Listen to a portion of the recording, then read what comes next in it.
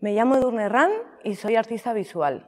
Eh, tengo varias líneas de trabajo, pero normalmente me centro en temas de identidad, cuestión de género, de raza, de las percepciones que, los demás tienen sobre nosotros eh, y cómo influye esto de manera psicológica, etc. Yo comencé ya una idea que tenía de, trabajo sobre la identidad, sobre la percepción de, eh, los demás, sobre cómo nos percibimos, cómo nos comunicamos. Me interesa muchísimo la indumentaria como acto comunicativo, toda la semiótica de la indumentaria. ¿no? Creo que, podemos expresar y que es un arma política la manera en la que nos vestimos, la, manera en la que, como, bueno, podemos enfatizar o podemos mostrar algo y decir algo sin, sin tener voz. El comienzo del proyecto fue que me inventé una gemela yo cuando comencé el curso tenía el cabello rosa, llevaba muchos años ya con el cabello rosa, entonces sufría discriminación, negativa y positiva, por supuesto, todo tipo de discriminación tiene esos dos,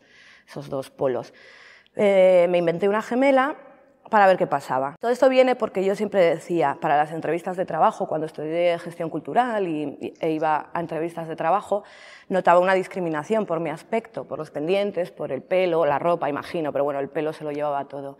Y, siempre bromeaba diciendo que me iba a poner una peluca, me iba a quitar los pendientes para las entrevistas de trabajo y una vez que me dieran, yo suponía que me iban a dar el puesto, entonces ya volvía a mi ser. Entonces todo empezó gestándose, o sea, este proyecto se empezó gestando muchos años atrás. No sabía cómo iba a tomar forma, ni sabía que iba a ser un proyecto, pero comenzó así.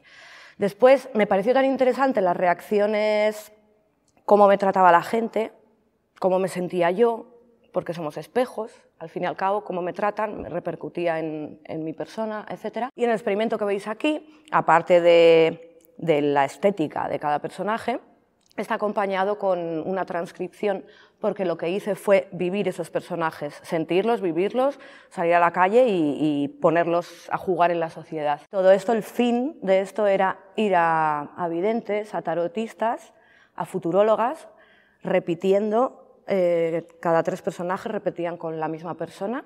No podía hacerlo todo con, solo con un vidente por mis rasgos, porque me iban a pillar, era un espacio de tiempo bastante reducido.